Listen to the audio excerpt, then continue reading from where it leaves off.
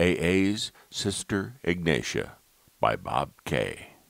St. Thomas Hospital was where the resourceful Sister Mary Ignatia, a nun who seems to have stepped out of the bells of St. Mary, abetted the surreptitious admission of alcoholics for treatment.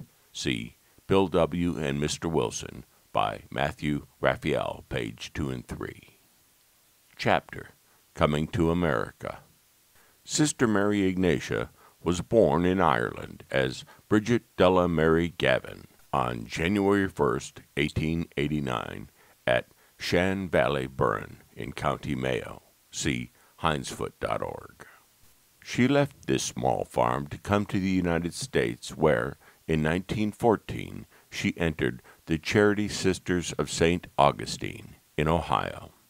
An excellent musician, she spent her first ten years as a nun teaching music.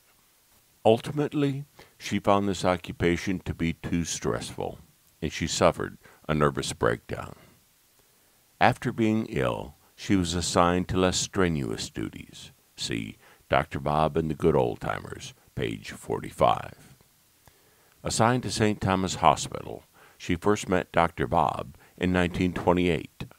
The physician was on the courtesy staff at the Catholic Hospital the physician's principal hospital affiliations were elsewhere. Chapter Co Conspirators In the spring of 1939, administrators at the Akron City and Green Cross hospitals, noting that Dr. Smith's mysterious patients owed over $5,000, began scrutinizing his admissions more carefully. See Not God by Ernest Kurtz, page 79. He asked Sister Ignatia, the admissions officer of St. Thomas, if he could smuggle in some alcoholic patients. Dr. Bob knew that the good sister was sympathetic to the cause. We often discussed the problem of alcoholism and the tragedies caused by excessive drinking, according to Sister Ignatia. See Old Timers, page 185. Smith prefaced his request for assistance with a confession of his own alcoholism. Their first venture in August of 1939 was followed by many more. The sickly nun and the alcoholic surgeon cherished the thrill of bootlegging alcoholics into St. Thomas, most often under a diagnosis of acute gastritis. See Not God, page 79. The sister's co conspirator was demanding and requested a private room for his camouflaged patients, rooms that were unavailable. There were two reasons behind the doctor's request. The first was so that any withdrawal symptoms would occur out of the view of other patients, and secondly, so that there could be discreet conversations between the patient and the string of visiting sober alcoholics. Sister Ignatia cleverly solved the dilemma by lodging the drunks in the flower room, a space used not only for the preparation of floral arrangements, but where the occasional stiff was housed while awaiting shipment to the morgue. Chapter Catholics and Protestants. Over the first few months of the use of the flower room, the Catholic sisters' conversations with the endless stream of visitors revealed a distressingly Protestant ideology. This prompted concerns about the Oxford group connection if she were to ask Sister Administrator openly to admit Dr. Smith's alcoholics. See Not God, page 80. In early 1940, she took this problem to the assistant pastor from a nearby parish. Arrangements were made for Father Vincent Haas to attend a meeting at the King School. The young priest was entranced, enthralled, and enthusiastic. See Not God, page 80, and reported back to Sister Ignatia's administrative superior, who lent her support and cooperation in the bootlegging operation. Later, the admission of alcoholic patients was officially sanctioned. The Cleveland Catholics then carried this news back to their city and thus laid to rest the lingering bogey which still haunted some of that metropolis's more scrupulous Catholic alcoholics. See Not God, page 80. Until Sister Ignatia established an alcoholic ward at St. Thomas Hospital in 1939, virtually no general hospital admitted alcoholics for the treatment of their alcoholism. See Bill W. by Francis Hartigan, page 94. Chapter The Alcoholic Ward. It was found that the hospitalized drunks did better, not in private rooms, but when mixed with their fellows. At St. Thomas, accommodations were enlarged to an eight bed ward. See Old Timers, page 190. Patients were allowed only AA visitors, and there were no repeaters among the patients. We learned from experience that the program is defeated in institutions where the majority of inmates are repeaters, Sister said. It creates an atmosphere of pessimism and discouragement. See Old Timers, page 191. The nun, naturally enough, stressed prayer. Although quite shy, she revealed her sense of humor when a patient asked her to pray for him. I will indeed, she said, but pray for yourself as well. There's nothing God likes more than to hear a strange voice. See Old Timers, page 192. Additionally, Sister Ignatia made a point of helping her charges through their fourth step inventories. See Old Timers, page 196. She also helped with the racial integration of AA when, in 1948, Sister Ignatia and Dr. Bob successfully petitioned the hospital to change this policy of blacks not being allowed on the alcoholic ward.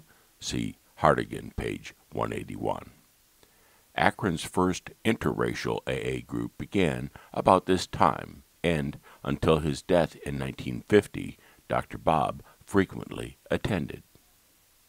Chapter A Bad Business Model From his last drink in June 1935, AA became the centerpiece of Dr. Bob's life. He worked with Sister Ignatia to treat thousands of alcoholics who were then channeled into AA.